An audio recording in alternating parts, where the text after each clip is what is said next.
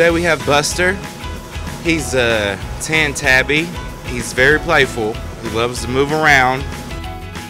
If you're interested in him and want to come and see him, come down to League City Animal Shelter and we'll be able to find you a furry friend, fit your needs.